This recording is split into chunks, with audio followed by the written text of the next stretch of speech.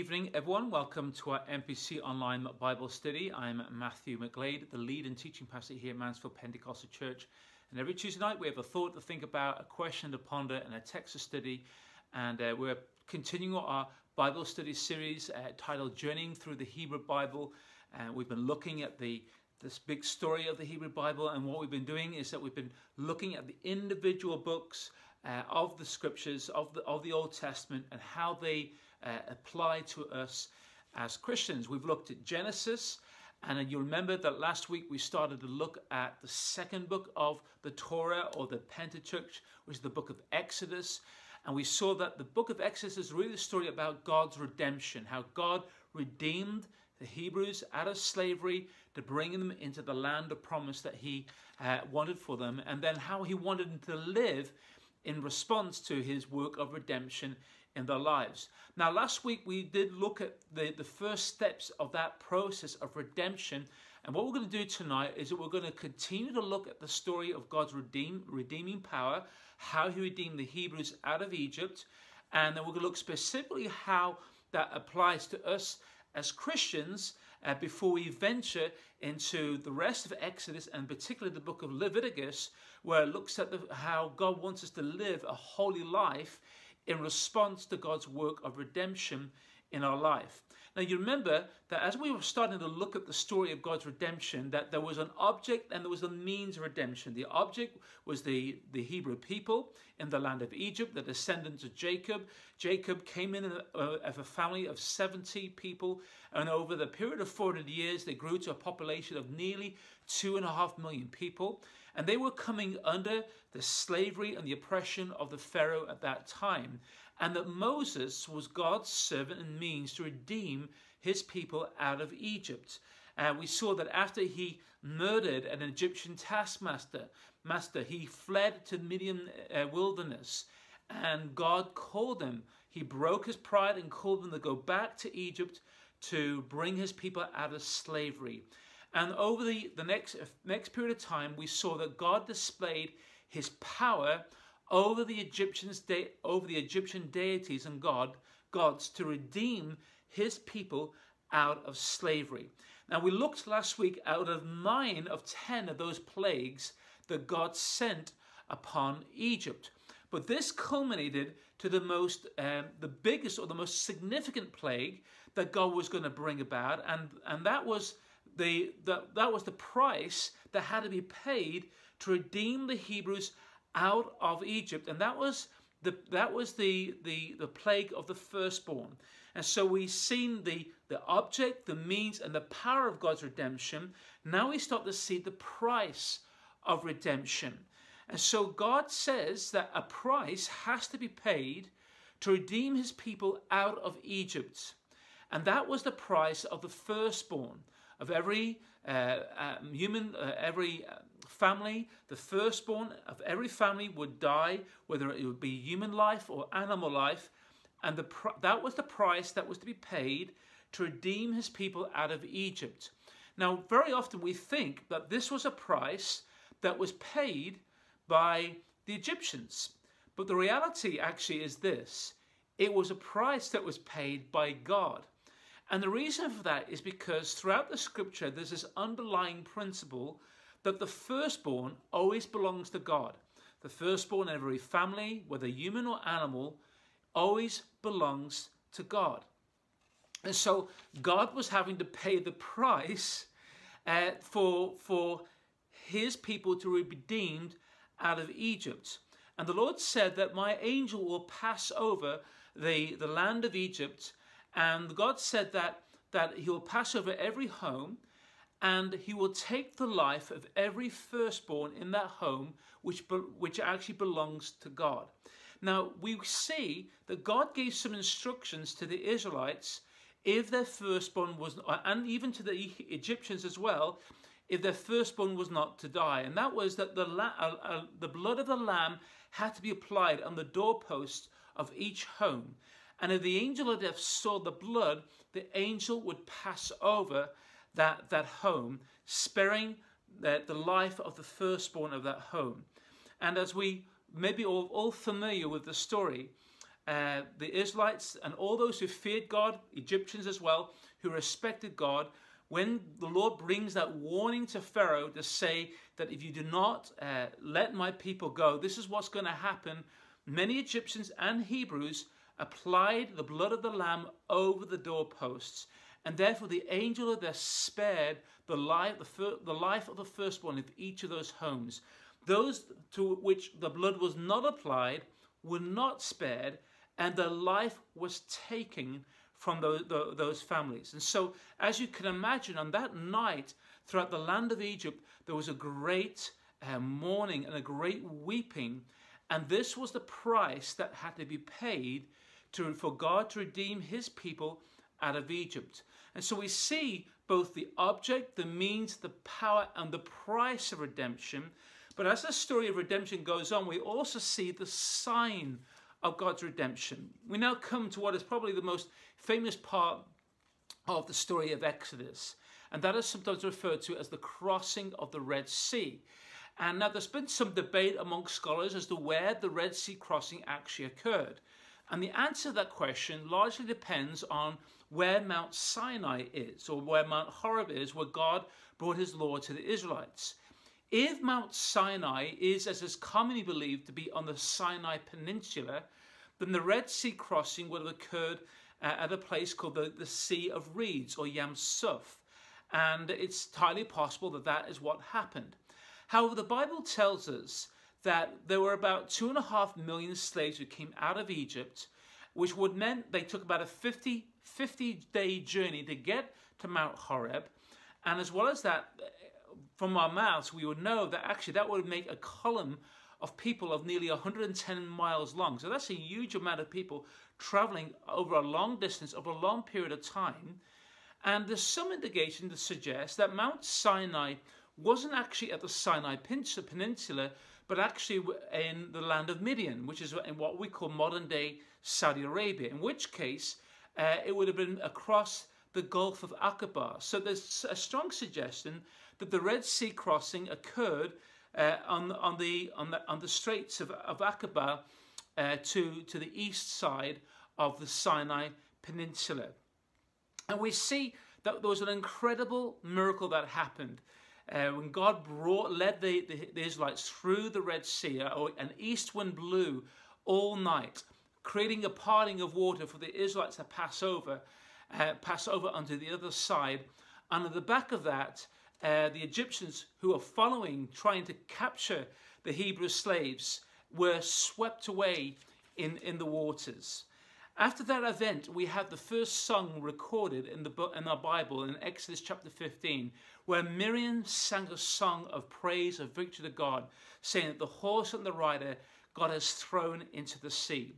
As the story progresses, we see that the Israelites journeyed for a number of days in the wilderness to make their way to Mount Horeb or Mount Sinai, where God was going to enter into a marriage covenant relationship with his people. And during that time, the Lord provided a white substance, that, uh, a nutritious substance to, to sustain them and give them food to eat. And the slaves asked, or, or the, well, they were no longer slaves, and the Israelites asked, What is this? In the Hebrew, it is literally translated manna. What is it? And God provided this food, this bread from heaven, to sustain them during this time. Now, as we look at this story of redemption, of God delivering his people out of Egypt, we saw the object, the means, the power of God's redemption, the price that was paid to redeem his people, and the, and the sign of God's redemption in uh, bringing them through the Red Sea. We see a very strong parallel how that applies to the Christian life. Last week we saw that Christ is our means of redemption. We also saw that, um, that he delivered us from the powers of the kingdom of darkness. As well as that, he, a price was paid for our redemption. Remember that they cost God the firstborn of Egypt to redeem his people. It was also costly for the Israelites to, to kill a lamb uh, to, to, to spare their firstborns from dying uh, in the, the, in, from dying in their homes. And in the same way, the Bible describes it's Jesus as God's firstborn. That Jesus is also a Passover lamb. That he died in our place. that when Jesus died on the cross on that day, uh, at the moment at those Passover lambs were being slaughtered, he was the fulfillment uh, of that of that event. And so the price that was paid for our redemption was accomplished for us by Christ. As well as that, when Jesus instituted the Lord's Supper, the breaking of the bread, it's also a picture of the Jewish Passover feast. In fact, Paul builds on this when Paul when, when he says uh, that get rid of the old yeast so that you may be new unleavened batch as you already are. For Christ, our Passover lamb, has been sacrificed. Therefore, let us keep the festival not with the old unleavened bread with malice and wickedness, but with the unleavened bread of, of, of sincerity and truth. And so, our breaking of bread is, in a sense, our Passover feast, as we remind ourselves of what, as that, as God delivered the Hebrews out of Egypt, so God has delivered us out of the kingdom of darkness. And just as the Hebrews were to eat unleavened bread, so we are to live our lives without uh, deceit, without sin in our life, to lead a life that is holy unto, the, unto God. And as well as that, not only was there a price uh, of our redemption, but also there is a sign of our redemption. The Israelites went through the Red Sea. And in a similar way, there's a sign of our redemption is that we go through the waters of baptism. In fact, Paul builds on this when he writes to the Corinthians that they, speaking of the Israelites, were all baptized in Moses in the cloud and in the sea. And so there's a sense there, isn't there, for the Christian life. We are baptized, not in Moses, but we are baptized into the name of Jesus. Uh, and we open our hearts to receive also of his Holy Spirit. Spirit. One of the thought as well, you remember that the Israelites were sustained with manna in the wilderness. In the same way, in our spiritual walk, we are sustained by our relationship with Jesus Christ, who described himself like the manna in the wilderness.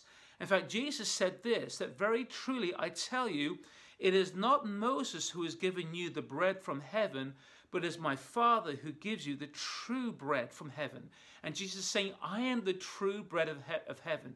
So the manna that the Israelites experienced in the wilderness is likened unto Christ in our life. And so we see these amazing parallels. As God redeemed the Israelites out of Egypt, so Christ has redeemed us. As the Israelites um, slaughtered the Passover lamb so that the firstborn would not die, so Christ is our firstborn, and he is also, or the firstborn of God, I should say, and he is the Passover lamb who died in our place to redeem us from our sins. Uh, as the Israelites passed through the Red Sea uh, and were baptized into Moses, so we gone through the waters of baptism and are baptized in Christ. So there's strong parallels to the Christian life in, in, the, in the Exodus story of redemption. Now, as the story unfolds, the Lord brings his people to a place called Mount Horeb or Mount Sinai in the Midian wilderness. And we start to see more of God's intentions for his people. God wanted to, wants to enter into a marriage ceremony with his people where he wants to be their God. He wants to be the center of their community life. He wants to be their king. He wants to be their minister of health and finance, of defense. He wants to be their all in all. And so we see that God brings them to Mount Sinai. When they camp around Mount Sinai, God's presence is revealed on the mountain and God brings his law to his people. But the truth is that God is on the mountain, but not in the camp of the people. But God, that's not where God wants to be. God wants to dwell amongst his people. He wants to be with his people at the center of the, his community. But before that can happen, he has to show his people how they are to live. He, God is a holy God. And he wants his people to be holy as he is holy so that he can dwell at the center of their lives. And this was the incredible privilege that was bestowed upon these former slaves. God redeemed his people out of Egypt to make them a kingdom of priests and a holy nation to enter the promise that God had for them, with God being at the very center of who they were. They were not to be a, a, a democracy, but they were to be a theocracy where God was their all in all. And what we're going to be doing next week, we're going to be looking at the next part of the Hebrew Bible. We're going to be looking at the next part of the book of Exodus and how that flows specifically into the book of Leviticus, which is the central book of the, of the law, of the Torah. And we're going to be looking, at uh, drawing some very important lessons of how holiness impacts upon, wasn't just meant for the Israelites of the Old Testament, but actually it's also meant for us today as God's people. Well, guys, that's our thought to think about. A question to ponder is this What does it mean for you to live as someone who's been redeemed by God? So, what does it mean for you to live as someone who's been, who has been redeemed by God? And a text to study is I'd like you to read Exodus chapters 12, verses 12 to 13. And as you read that, those, few, uh, those two verses, what is the significance of the blood and the doorposts in this passage? How did it function as a sign for the Israelites? What does this event reveal about God's character and his expectations for his people? In what ways does the blood of the Passover lamb parallel the sacrifice of Jesus? And how should this understanding shape your life, especially in terms of how you respond to God's saving grace? Guys, I hope you got something out of that tonight. Hey, listen, have a great rest of the week and looking forward to seeing you over the weekend.